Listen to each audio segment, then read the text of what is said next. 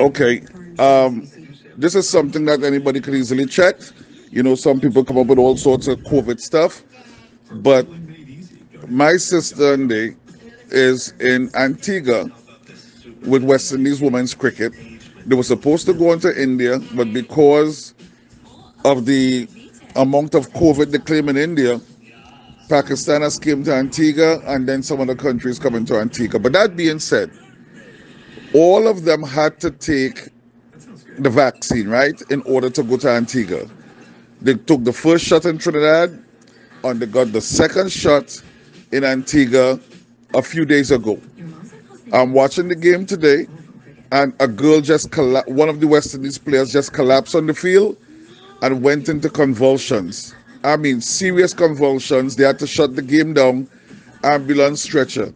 Five minutes after that, another West Indies player collapse on the field. Same thing. You see, like how at least she had convulsions, right? Because with the Eriksen guy, he collapsed and was motionless. But she collapsed and was shaking. Even when they put her in the stretcher, the strapped her, she almost flew out the stretcher. She's sh- shaking and frothing from the mouth. It's got to be the vaccine.